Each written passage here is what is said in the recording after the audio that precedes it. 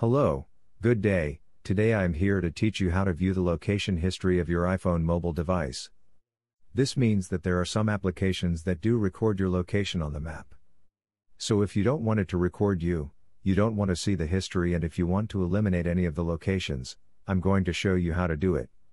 We'll have to go to the settings.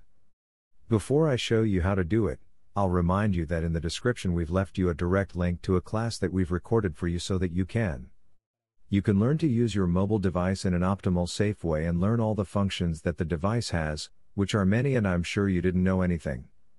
First of all, what we will do is go to settings and when we are in settings we will go down to privacy and security. Within privacy and security we will go into location and within location we will go down to system to system services. Within system services here we will see all the configurations that they use and that record our location our location. We will have to go to important places that I can't find now. Here it is to important places to see a what are these locations? And to be able to delete them it will ask us to enter with the code or with Face ID. Now it comes here I have zero records I delete them every day. I don't like that I locate but you can delete the history and you can see here all the records and all the history of locations that have been saved for you so nothing if you don't want to be located you don't like it I don't like it personally you can delete everything so nothing else this is all.